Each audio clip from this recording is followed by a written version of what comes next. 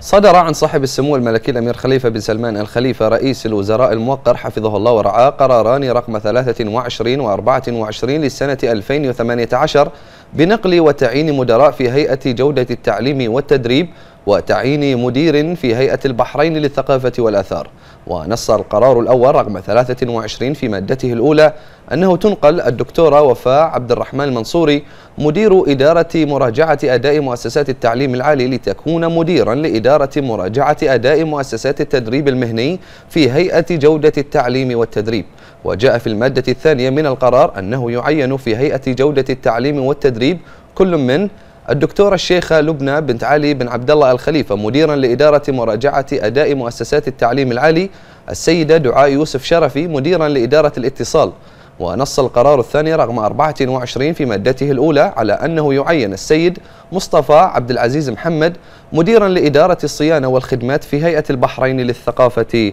والآثار.